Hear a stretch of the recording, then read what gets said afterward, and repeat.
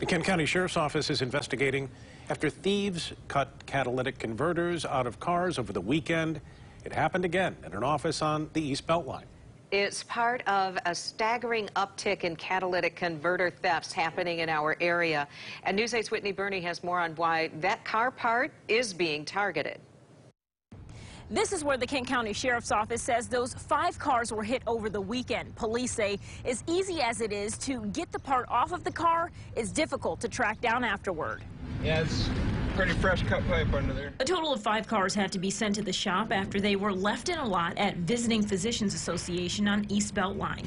Thieves targeting them for catalytic converters. The metals that are contained in the catalytic converters are what uh, drive the theft. So the thieves will cut the catalytic converters off, they'll bring them to a scrap yard and try to sell those for profit. Sergeant Eric Brunner with the Kent County Sheriff's Office says this particular crime saw a 700% rise since 2020.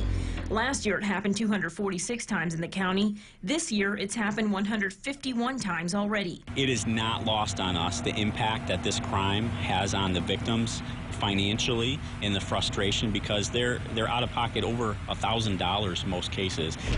Jeff Schaefer with Pfeiffer Collision says the pricey repair can also mean drivers are without a car for a few days. Catalytic converters are to help with the emissions going out into the atmosphere.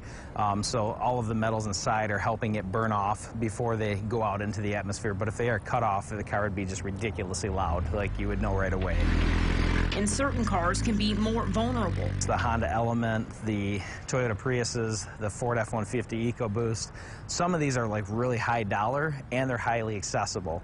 So those are also ones targeted. So if you have a vehicle like that, you just want to consider where you're parking, where you're going to be at. Police say because the part doesn't have a VIN number, they're hard to track down once lifted.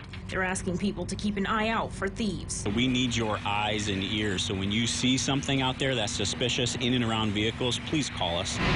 In Grand Rapids, Whitney Burney, News 8.